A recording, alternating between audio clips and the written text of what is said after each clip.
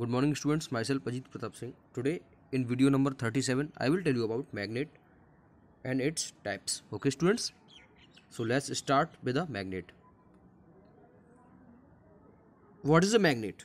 More than 25 years ago the Greeks actually discovered a certain type of black stone okay that had the power of attracting pieces of iron okay so anything which can attract iron is known as a magnet. The story goes that magnus and he was a shepherd and he was having a stick with a small iron piece attached at one end of the stick. One day his stick got stuck to a black rock. It was found that the rock had the property of attracting iron.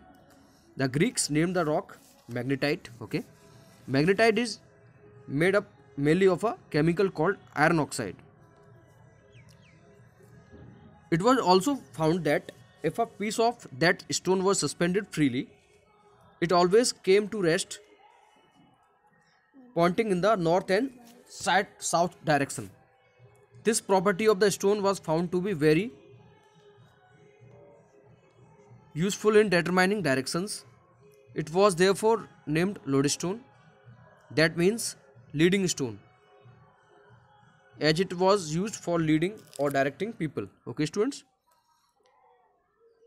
Any material that has the property of attracting iron is called a magnet, as I told you. The name magnet is derived from magnetite, okay, which is a natural magnet the property itself is called magnetism so the property of having the magnetic power is called magnetism and the force that the magnet exerts on iron is called magnetic force okay students so the force is called magnetic force if you have played with a magnet you would have observed that it can attract an iron nail from a distance from a quite fair distance. Thus, magnetic force acts from a distance even when there is no contact between the objects. Okay, a magnet can have any shape, but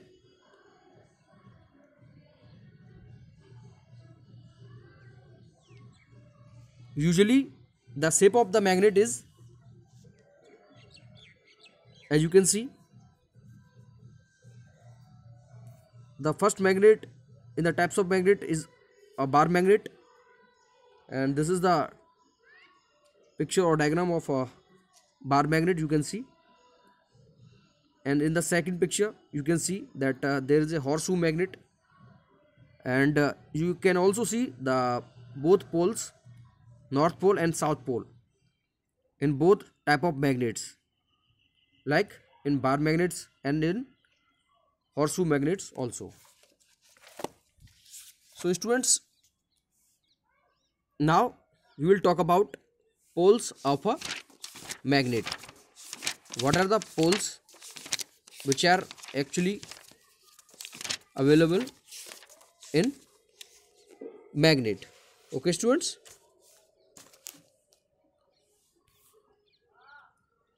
Let us now see which regions in a magnet have stronger magnetism. And we will come to know about it with the help of this activity number 2. For this we have to put some iron fillings on a sheet of paper okay then we have to roll a bar magnet in the fillings and then then we have to lift it up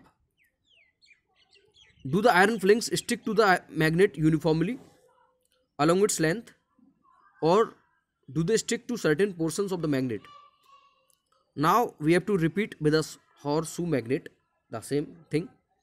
What do you observe? You will find that most of the iron fillings generally stick to the